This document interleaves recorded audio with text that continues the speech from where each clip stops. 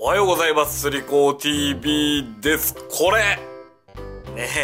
え、ティップが折れちゃったっていうことで、これソリッドティップの竿なんですけども、結構ね、大切な竿だったんですけども、まあね、えー形あるものはね、いつかね、壊れるっていうことで、残念ながらちょっとね、折れてしまいました。そこでですね、えー今回は、えーこのティップを詰めてね、え直そうかなっていうことで、えースタートしていきます。で、このまんま詰めてしまうとですね、結構、バランスが悪くなっちゃうのかなっていうことで、えーまあ、ここちょっと毛羽立っているので少しここを詰めてですね付け直してでね、えー新しいバスロットに、えー直していこうかなっていうことで元々の調子はですね出なくはなってしまうんですけどもこうちょっと詰まった分少し固めのアクションになって今までねまあライトリグ何でも竿みたいに使っていた竿なんですが、えーこれがですね、えーもう少しパワーのあるね、えーなんだろうなパワーフィネスまでいかないけどちょっとだけね、えー強くなってねそんな感じで使えるんじゃないかなっていうことでじゃあ早速始めていきたいと思います。まずねこのトップガイドですね。これを取り外してあとここのガイドも取り外してっていうことでね、えスタートしていきたいと思います。これはねえー、ちょっとライターで炙って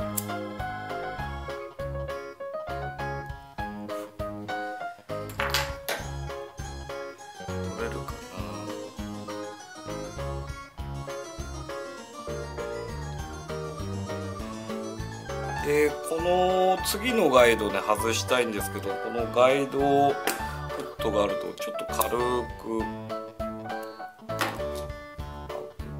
で、ね、はいポロッねはいガイドが取れました。おいでなくさないように気をつけてあとはねここ爪で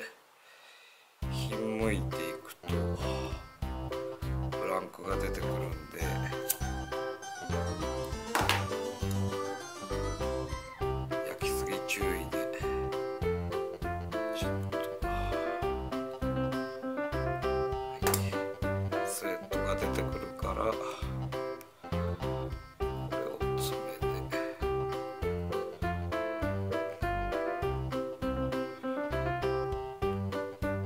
はい穂先が出てきましたそしてこのティップをつけていこうと思うんですけども繊細なティップね穂先が入っていたんでちょっとねここが太くなったんで入らなくなっちゃったんで、えーガイドをね一つ準備していきますはいそれでは引き続いてですねこれあのー元からついていたトップガイドで、えー非常に小型のものなんですけどもここねあのー細い穂先に合わせてすごいここの口径が小さいねっていうことで、えこれを無理くり入れるとなんかちょっと違うなという感じなので、えトップガイドを買ってきました。こんな感じでね、えー買ってきてみたんですけども2つありますけどね。ちょっともう1本折れちゃってる竿があってそれに合わせて買ってきてみたんですけども。こんな感じでね、えトップガイドだけ買うことなんかもできますのでそしてあのこの竿はですね SIC ガイドが使われていたんですけども今回ねトップガイドだけあトルザイトリングにしてみようかなっていうことで結構出始めの頃ってねあのトルザイトのこうトップガイドってここが外れちゃうんじゃないかなんていうね噂があってまあ実際に自分も一回外れたことがあったんですけども最近のやつはですねいろいろ形状とかが、えー考えられていてこうねえーまあリングが抜けちゃったりっていうこともねもうないよっていうことなんで、えー先端だけねちょっとね軽い軽量なトルザイトのリングをね入れてみてね。あー俺のはこれ先端トルザイトに、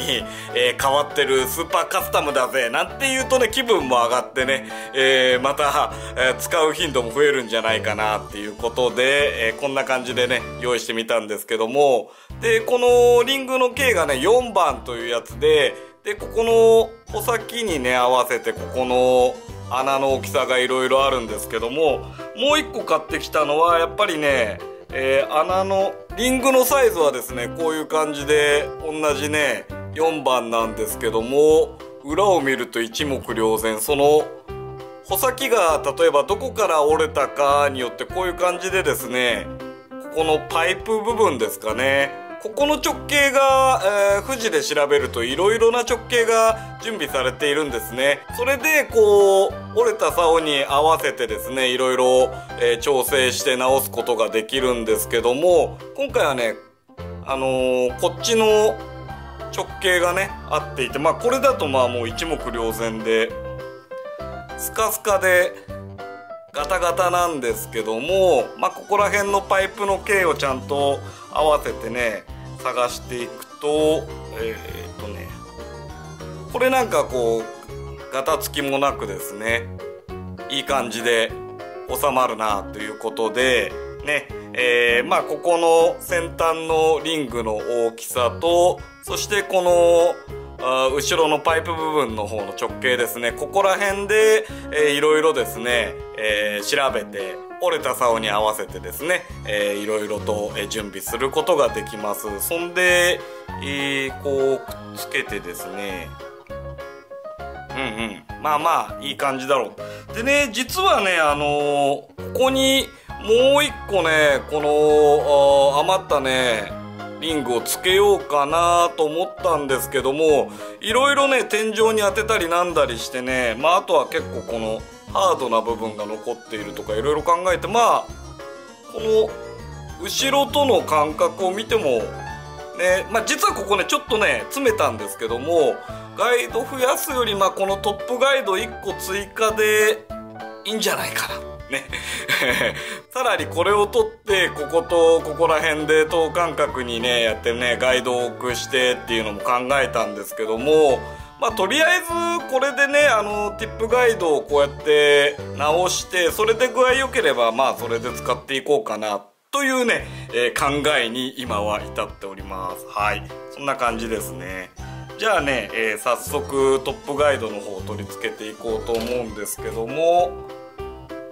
こういうねエポキシの接着剤でですねくっつけていこうと思いますよ。こう開けるとですね2つこう入っていてこれをですね同じ量ずつね、えー、混ぜ合わせて、それでね、効果が始まるっていうことで、でね、えー、これはね、90分で効果が開始しますよっていうね、ことで、耐水性、耐久性に優れるっていうことでですね、えー、こういうの準備してみました。じゃあね、早速。まあね、あの、もうこの作業終わったら捨てちゃうんで、こんな紙なんかでいいと思うんですけども、ね、これに、等量ずつ、同じ量ずつですね。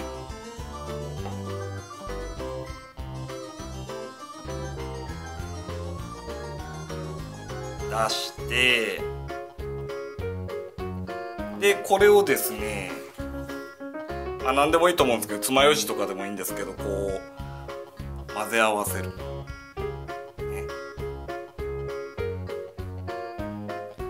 ここら辺なんかの、えー、作業はですね、えー、ジャストエースさんとかあとはあのジーニアスプロジェクトのですね青木プロねのあジーニアスプロジェクトの例えばあ YouTube とか見るとですねほんとプロの人たちがすごい分かりやすくですね、えー、穂先の補修はこういう感じで直していくんですよとかね、えー、なんかすごい職人的なテクニック的なところまでねえー、いろいろと、えー、見ることができますので、えー、ロッドティップ補修とかね調べてね、えー、ジャストエースとかあとはジーニアスプロジェクトねそこら辺で調べていくと、えー、スレッドの綺麗な巻き方とかねあとはまあこういう接着剤を使う時はこういう感じでやっていった方がいいよとかね、えー、こういうやつがいいよってね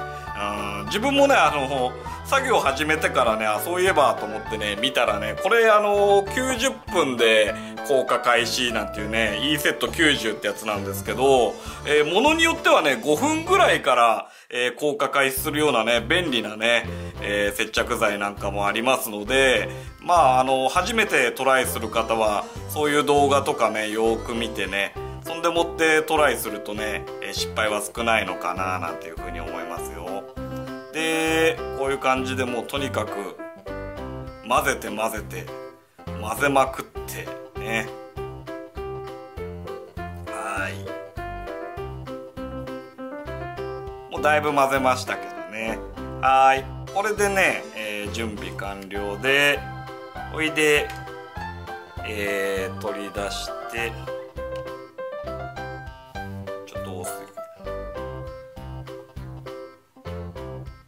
まずパイプの中に接着剤をたっぷり。こうちょっとねねじるような感じで。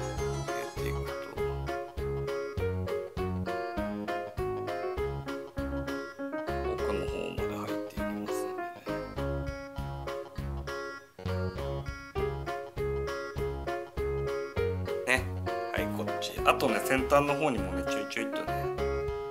つけてじゃあいよいよね取り付けていきますけども。まあ何のことはない。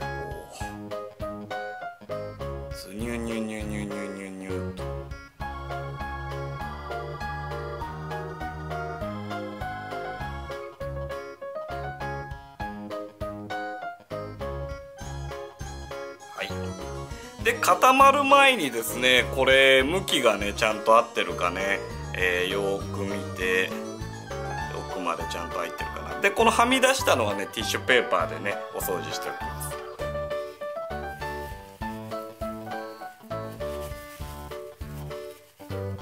はいはみ出した、えー、ポキシをねお掃除してで目測になるんですけどねここがまっすぐついてるかね。えー、ちゃんと確認してちょっと待ってくださいね。はいちょっとね自分の怪しい感覚ですけどもどうやらまっすぐついているようなのでじゃあねこれで、えー、乾くまで待ってそんでもってね、えスレッドの方巻いていきたいと思います。はい。えー、これねエポキシで固めたのが、えー、2日間ぐらい置いたかな。しばらく忙しかったんで触れなかったんですけどもしっかりと乾きました。ね。これでもうあのー、取れないからこのままもう釣りには使えるんですけども、えー、せっかくなんでですねこういう感じで、えー、スレッドを巻いてですねそんでもってあのコーティングをして、えー、修理を終わりっていうねことにしたいと思います。でまあいろいろこうスレッドはあるんですけどもこの黒なんかね使ったりよくしてますが、えー、小森さんの竿っていうことでまあこういう感じのちょっとねキラキラの入ったねピンクっぽい、えー、紫っぽいこんな感じの色をね買ってみたのでこれでね先端の、えー、視認性も含めてね使いやすいようにアップしていこうと思います。でこれ塗った時のまんまねこういう感じであのー、接着剤ね置いておけばあ固まったなーってねこう触ったら結構こういう感じでうん。ねしっかり固まったなーなんていうのが分かるんでえー、それじゃあね、えー、早速巻いていきたいと思います。ちょっとねこの派手派手な色のスレッド買ってきたのでねはい、えー、こんな感じのねスレッドを買ってきたのでそんでもってねえスレッドを巻いた最後にねこの抜き糸って言ってですねこれを使って、え、結び目とかないような感じでね、え仕上げていくのでフロロカーボンラインでねこう結んで作ったねこんなものを準備してじゃあね早速やっていきますかね。はいじゃあスレッド巻いていきますけどもまず、えー、この糸を押さえつけるようにスタートの部分ですね、えー、コブにならないように重ならないように巻いていって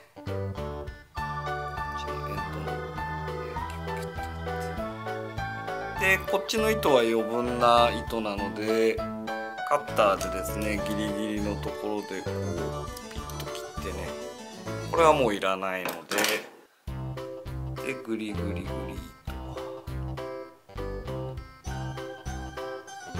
巻いていきます。である程度のところで、えー、この抜き糸ですねこの抜き糸を入れてさらに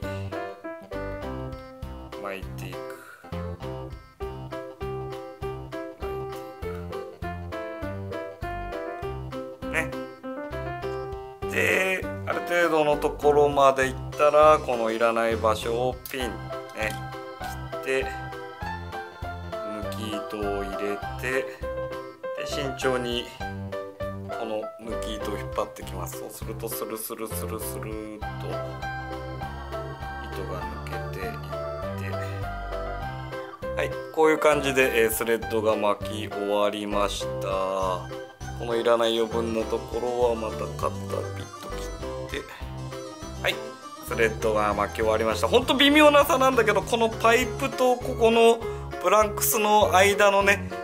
隙間をちょっと埋めてなおかつここにつるりんとしたコーティングをすることによって繊細な糸とかを使った時なんかのあ不意のトラブルなんかもね防げるかと思いますので。じゃあこれでね、えー、今度コーティングをしていきます。はい。じゃあね、えー、コーティングに入っていくんですけどもコーティングの時に必要なものねまあエポキシとかあとは筆ねちっちゃいやつとかあるんですけどもジニアスプロジェクトのねあのロットビルディングの動画を見たらねこういう感じのねあのー、金属製の棒これなんかあのマドラーなんですけどもねあのお酒カクテルとか作る時に混ぜるようなやつ。まあこれとは言ってなかったんですけどこういう金属製の棒でこう青木さんが綺麗にね、えー、厚塗りでなんだろうあと熱が伝わりやすくてその気泡ができづらいとかねそんな感じで、ね、テクニック紹介していたのでこんなの買ってきてみました。こういう筆だとねあの1回使っちゃうともうそれでおしまいで廃棄になっちゃうのであそっかこういう感じのでやればいいなね。でマドラーなんで反対側こういう混ぜる感じのもあるしね。これでこの二液性のやつを、えー、等量で混ぜてコーティング剤を作ります。あとは、えー、必要なのがこれねもうだいぶ年季が入ってるんですけどロードメーカーって書いてあるんですけどね、うん、ロッドメーカーじゃねえかなと思うんですけどロロードメーカー。まあ何かっていうとこのこんな感じのでね。ロッドを取り付けてウィーンって回すやつですね。これでこうロッドを取り付けてですね。でずっと等間隔で回すことによって偏りなくですねこの硬化させて綺麗な形にする。これがないとまあ基本的にできないんであのロッド直そうかなっていう人はこれね必需品になるので一家に1台えー、準備しておくといいんじゃないかなと思いますあとはまあこういうのの薄め液もあったりするんですけどもまあ基本は今回はねあの一発厚塗りでいっちゃおうかななんていうふうに思ってますんで、えー、じゃあ早速ね、えー、溶剤の方を準備していきたいと思います。えーとね、まあ、これ開けます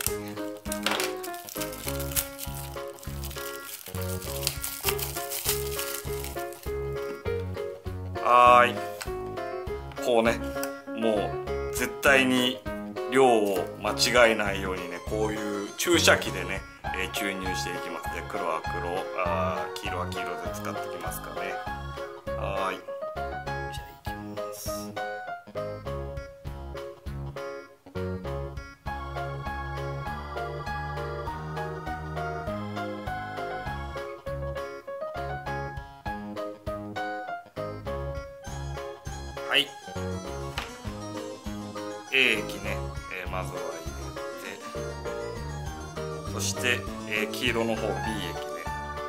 じ量でね。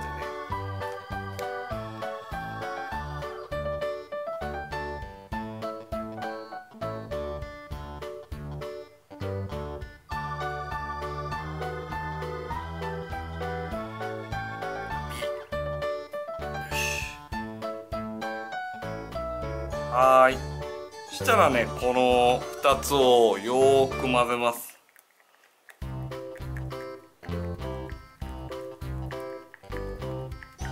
これマドラ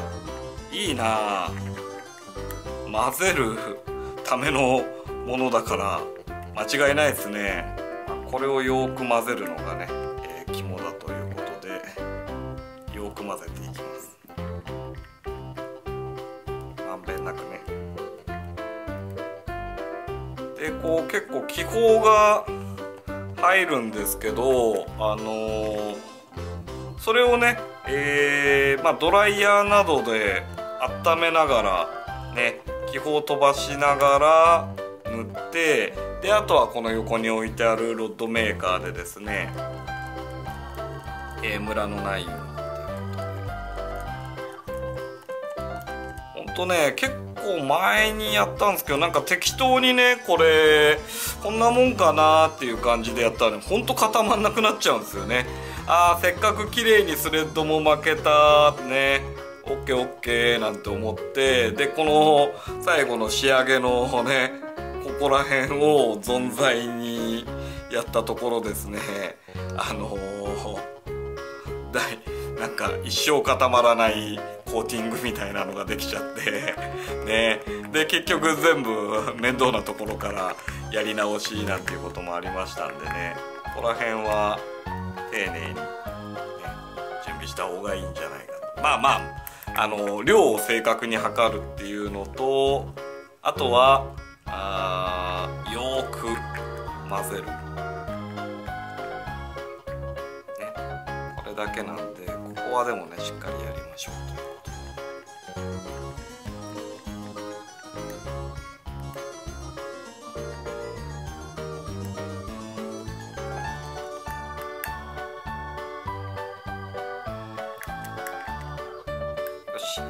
ティップガイド部分だけなんで今回はそんなにねえー、量は必要ないんで。はいロッドメーカーにバット部分を準備しました。何のことはない何のことはない本当単純な仕組みです。えー、これねスイッチにスイッチ。オン。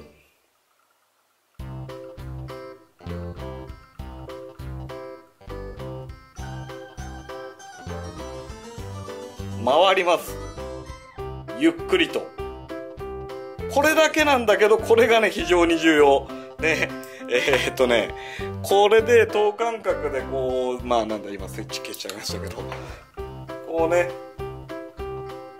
地味に回り続けてくれることによってこっちにねこう移していくと、まあ、とにかくこうやって回り続けてくれることが重要ってところですね。えー、それでもって、えー、溶剤も準備できたから早速ね、えー、コーティングの方していきたいと思います。はい。これねドライヤーね。これで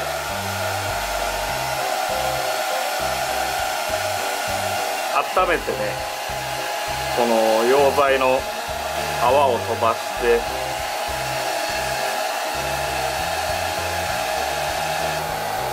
はいじゃあでつけていきたいと思います。でスレッドの真ん中あたりにつけて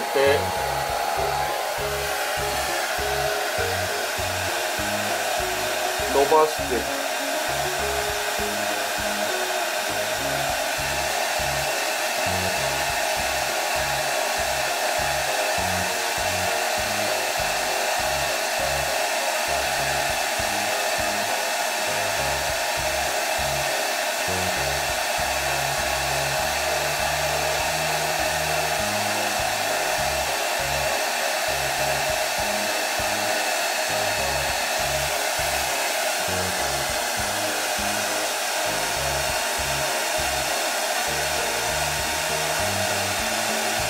はい。じゃあねあとはもうひたすら固まるまで回っててください。こういった感じですね。こういうね便利グッズの紹介とかあとは本当具体的なテクニックとかね分かりやすいねあのジーニアスプロジェクトの動画とかぜひ見てみてくださいね。今回ねほとんど、えー、それを参考にしてやってみました。あとはねジャストエースね部品がいっぱい出ているジャストエースの YouTube チャンネルなんかもね非常にわかりやすいえー、説明がいっぱいあったので、そんなところも参考に。はい。じゃあ、えー、どうだろうな。かなりしばらくの時間回っててもらおうと思います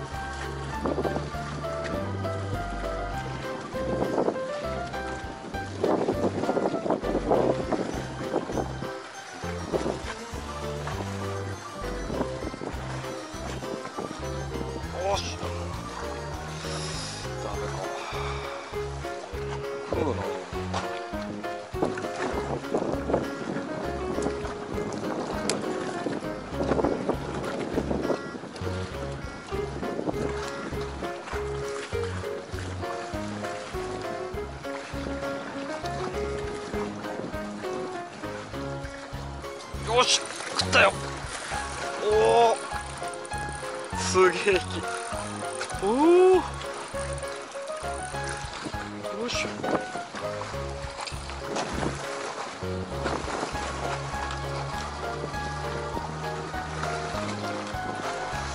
いや低い低い低い低いよいしょおお直した竿で釣れた。テスト完了。えーイエーイ。黒鯛におられた竿。黒鯛にて。復活ののろしね。えー、結構ね短くなった分そのちょっと調子が強くなっておかげでねこういう黒鯛のイカチーにもがっちりかけることができました。サイズは小ぶりだけど嬉しい1匹。ね。でルアーじゃなくてね、えー、貝を餌につけて落としてみております。イエーイ。いいとこかかってるわ。ね。でタックルなんですけども、えー、小森さんのですねスツディオスのスタンドアップっていうおかっぱり用の竿で先端が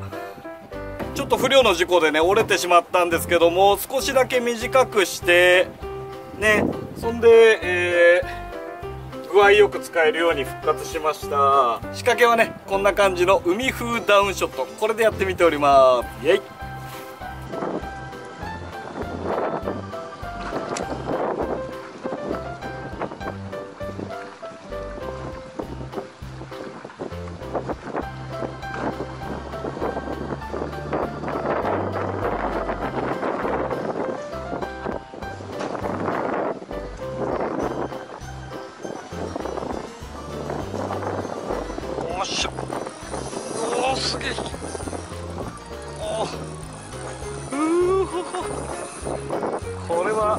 サイズアップじゃないかな。うおすごい引きだ。うわ楽しい。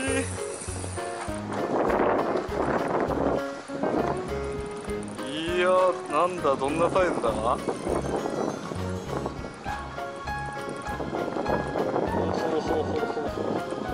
ここいると思ったんだよな。お引き込まれる。いやバットパワーあんなこの竿。よいしょ。よいしょ。あー元気。ねおっしゃ。ナイスサイズやった